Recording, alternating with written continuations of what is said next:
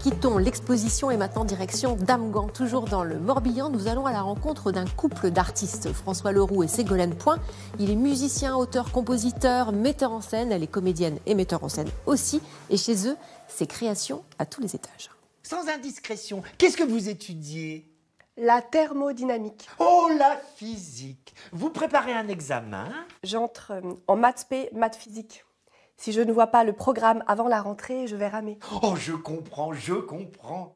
Les histoires de Madeleine, des nouvelles, de petites chroniques autour d'un personnage féminin, chaque fois différent des fragments de vie, anodins, particuliers, extraordinaires, pour des destins multiples. Faut vraiment que tu as un visage fermé. Bon. Mm, Et Elle a pas, antipathique. anti, ouais, elle n'a pas envie de communiquer du tout. Et puis de toute façon, avant, on, on doit sentir qu'elle est vraiment mais, agacée. quoi.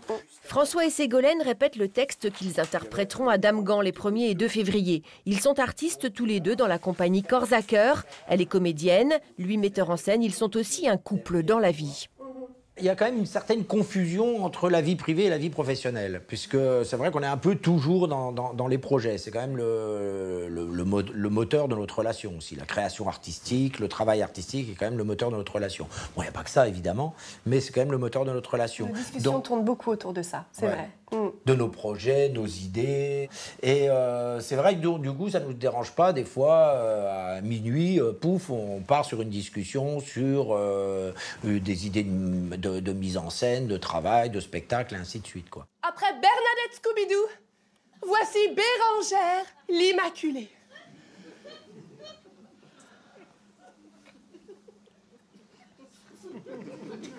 Eh ben, donc, vous, quand vous priez, vous Ah ben, ça nous change de tous ces batraciens de bénitier à la tenue aussi affriolante qu'un moulin à légumes. Ah ben, puis vous y mettez du cœur L'Évangile selon Polo est un autre de leurs projets, une pièce humoristique autour des religions. Ils l'ont joué tous les deux plus de 160 fois à travers l'Hexagone, dans le circuit des théâtres privés. Dans le quotidien de François, la musique et la chanson occupent aussi une place de choix.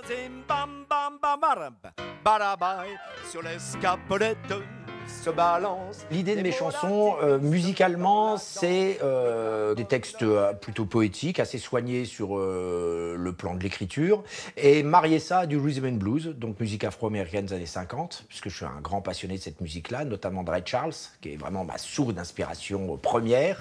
Mais qui sont non, quand tout va ma baby check son long Oscar.